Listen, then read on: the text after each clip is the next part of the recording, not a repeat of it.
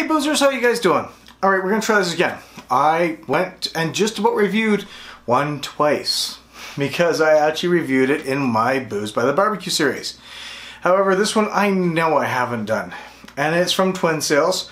Yet again, I know. When are you gonna stop with the Twin Sails? You know what? Never. I love Twin Sails. They're actually a really good brewery. It's the Dayblink Simcoe Pale Ale. And it's a Twin Sails Brewing limited release, coming at 5% alcohol by volume and 35 IBUs. And the ingredients are water, barley, hops, and yeast. And craft brewed in Port Moody. And again, these labels are pretty simple, pretty easy, and they're actually, they're not bad. Like you just have the stuff down there, just have the description there. It's pretty easy. I like it. It's pretty simple, but at the same point in time, complex because I really enjoy the labeling. So we're going to give the sucker a pour with my left hand, which I don't normally do. And we're going to see how it is.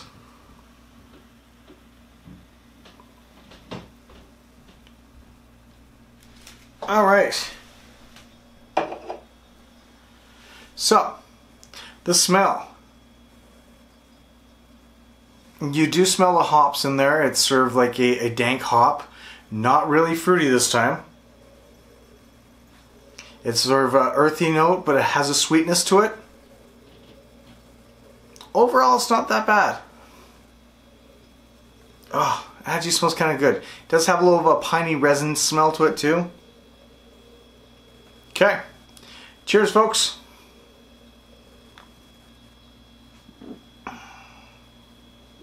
Wow. Has a little bit of a bitter bite on it. Um, not like their other ones.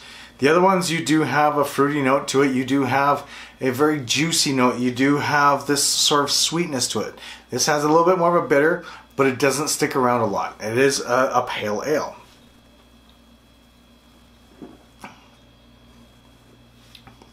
The hop they used with it is pretty good.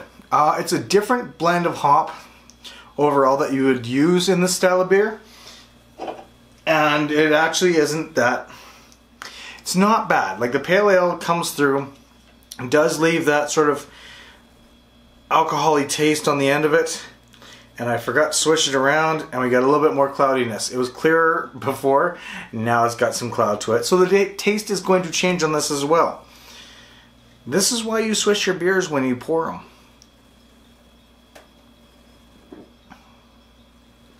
There's that juiciness. It's still a bitter juiciness, but it's still a good bitter juiciness. Um, you still do have that that earthy note hop. Um, yeah, that's that's still delicious.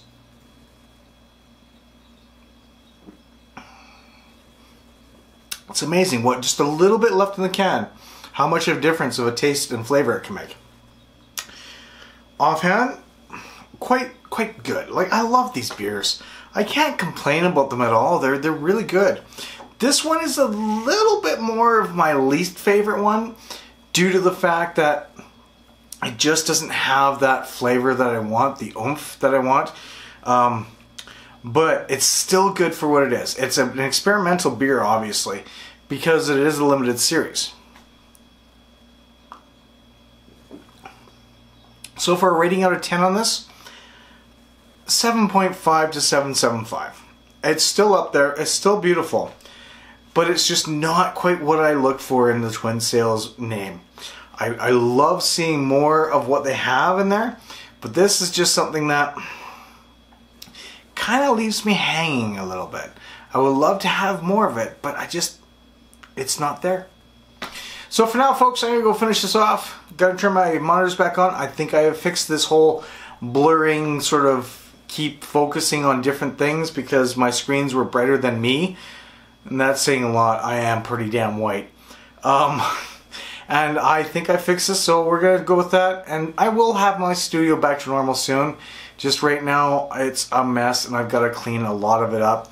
But I've got a lot of stuff in here that won't be moved out till August. So bear with me while I just sit in front of my computer for a bit. Anyways, cheers! Stay frosty, folks, and we'll see you real soon. Thanks again and have a good night.